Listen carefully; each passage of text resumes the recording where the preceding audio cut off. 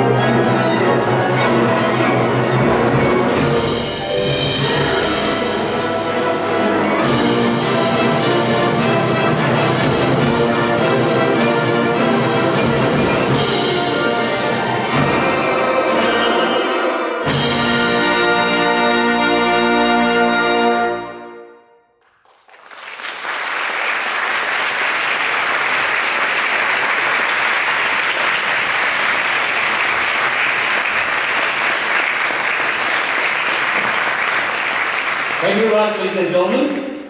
Welcome to Young People Conservatory of Please have a seat, ladies and gentlemen. You guys too.